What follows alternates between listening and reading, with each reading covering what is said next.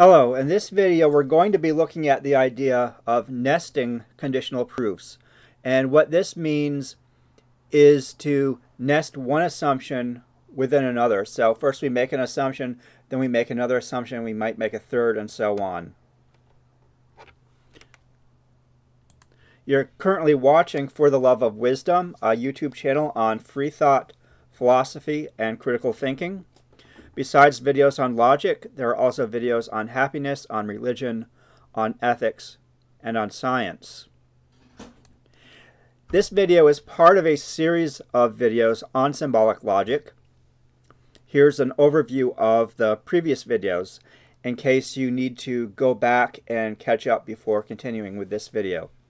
So the, verse, the first video was on what makes an argument a good one. And one of the important ideas we got from this is the idea that a good deductive argument should be valid. That is, the premises should entail the conclusion. And then we we went on to look at rules of deductive logic, uh, forms of arguments in which the premises entail the conclusion. So we covered the rules of inference, and then we moved on to the rules of replacement. Then we started doing proofs, first with the rules of inference, and we looked at some solutions to those. And then we moved on to conditional proof, where we were also using the rules of replacement.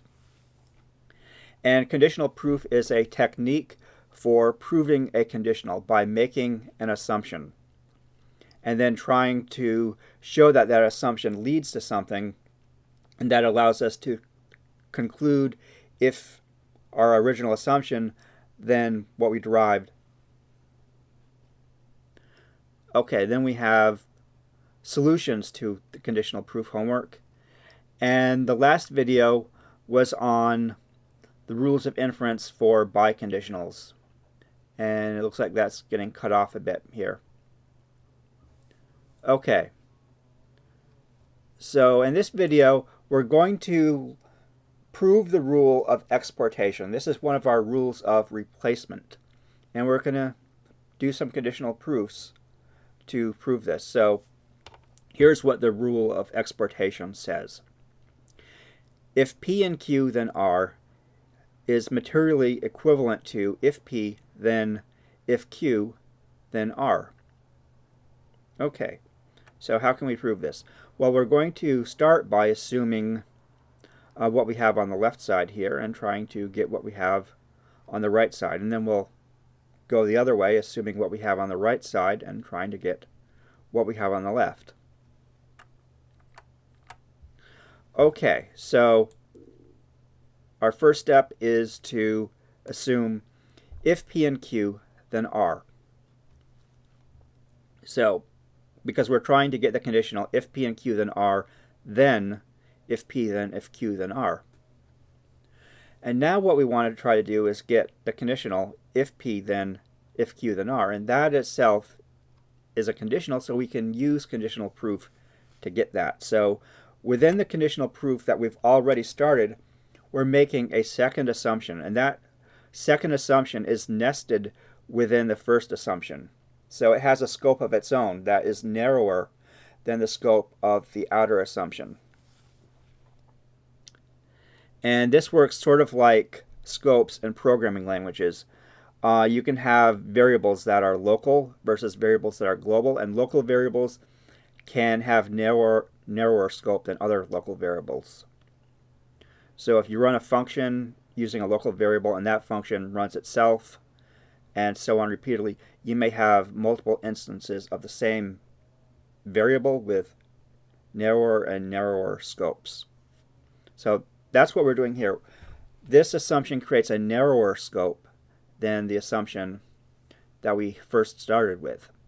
So we're assuming P.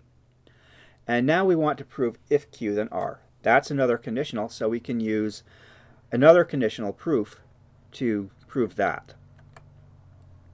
So now we have three assumptions, and that's as deep as this is going to go in this proof. So we have three nested conditional proofs. And now we're trying to get R. Well, from lines 2 and 3, we can use conjunction to get P and Q. And then because we have P and Q, then R, we can get R. And we get R through modus ponens. And now we can close off the innermost assumption, and we get if Q then R by conditional proof. And now we can close off the assumption, um, the second assumption, and we get if P then if Q then R from lines 2 through 6, conditional proof. And then we can close off our outermost assumption, and we can get if P and Q then R, then if P then if Q then R. And now we can just go in the other direction. We're going to start by assuming if P then if Q then R. And what we want to get is if P and Q then R. All right. So we we're now assuming P and Q. And we want to get R. Well, you can see we have R up here on line 5. Could we use that? No, we can't. And that's because the scope that it appears in has been closed. So that's not accessible to us. You have to remember when you close a scope, what whatever lines were in that scope are no longer accessible to you. So here's what we're going to do. On line 11, we simplify P and Q. And now we have P. And we can use P to get if Q, then R. So we do that on line 12 through modus ponens. And then we simplify line 10 again, and we get Q, which will let us use modus ponens again to get R. And now we can close off this conditional proof, and we get P and Q then R. If P and Q, then R. From lines 10 through 14 conditional proof. And we've just closed off the inner conditional proof. There, we're still in the other conditional proof. And now we close off that, and we get if P, then if Q, then R, then if P and Q, then R. And so now we have the two conditionals that we need to form a biconditional. And we're going to use biconditional introduction, which we learned about in the previous video. And we get if P and Q then R is a materially equivalent to if P then if Q then R.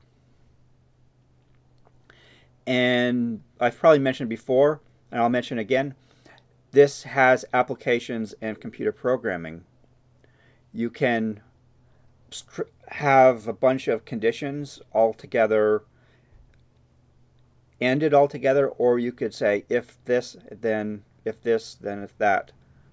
And they're going to be equivalent to each other. Okay in the next video we're going to try to prove the disjunctive forms of commutation and association. And we're going to be doing that in a video called proving disjunctions with conditional proof. Thank you for watching and look for the next video. Also, check below. Uh, there will be a link to the blog page for this video, which goes over some of the same material and will also give you access to the blog pages about other videos in this series.